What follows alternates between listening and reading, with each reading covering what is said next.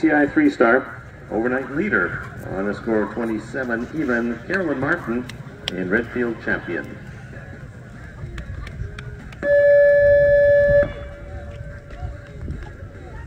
Caroline from Richfield, Pennsylvania, owner and rider of Redfield the champion. Eight-year-old Hanoverian gelding by Diarado.